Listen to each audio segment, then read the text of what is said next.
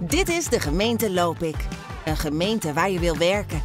Althans, dat vinden wij. Hier midden in de polder, in het groene hart, doen we dingen soms een beetje anders.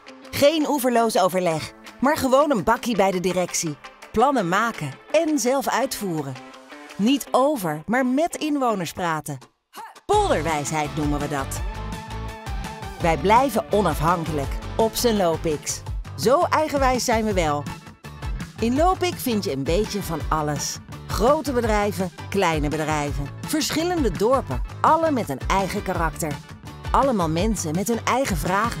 Hier werken doeners, aanpakkers, doorzetters. En dat zijn heus niet alleen Lopikkers. Samen maken we echt een verschil voor de inwoners. Al met al, genoeg reden om hier te komen werken. Een kleine gemeente met ruimte voor jouw grote ideeën. Dit is Lopik.